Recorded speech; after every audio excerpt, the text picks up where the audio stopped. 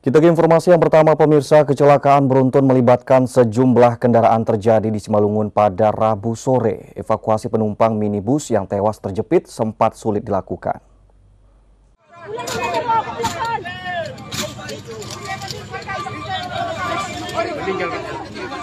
Inilah video amatir pasca kejadian kecelakaan beruntun yang terjadi di Kabupaten Simalungun, Sumatera Utara. Seorang penumpang minibus tampak tewas terjepit setelah kendaraan yang ditumpanginya tertimpa badan truk. Hingga proses evakuasi pun sangat sulit dilakukan dan berlangsung dramatis. Peristiwa kecelakaan beruntun terjadi di Jalinsum Simalungun Pematang Siantar, tepatnya di Desa Bulupange, Kecamatan Raya ini, berawal dari adanya satu truk yang tiba-tiba mengalami remblong dan menabrak beberapa mobil dan motor hingga mengalami kerusakan cukup parah.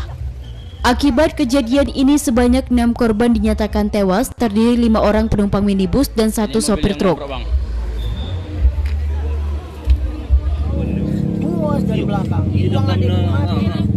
Kalau kira nggak dibuang ya mati lah kami dorong dia terus.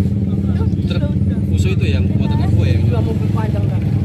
Abang dari arah mana bang? Dari Dodok lah. Dola lah. Oh mau ke center ya? Mau ke tebing. Mau ke tebing. Bang eh, setelah kejadian ini apa lagi abang tengok bang? Nggak ada. Udah bagaimana istri kami pingsan lah. Orang kencang kali nabrak dia tadi. Ada berapa orang dalam? Tiga tadi. Bang. Ada tiga orang. Selamat semua ya? Ya selamat semalam. Motor Karena nggak nampak aku lagi. nggak nampak ya? Kaget ya bang? kaget kecil itu. Itu udah ke mana-mana lah. Dan jerit-jerit di dalam. Berarti abang tabrak dari belakang ini bang Dari ya? belakang. Korban tewas langsung dievakuasi petugas ke rumah sakit terdekat, sementara polisi masih menyelidiki penyebab terjadinya kecelakaan. Lalu lintas Jalinsum sempat mengalami kemacetan total selama lebih dari tiga jam. Dari Simalungun, Sumatera Utara, Dharma Setiawan, iNews melaporkan. Kondisi mobil satu lagi bang.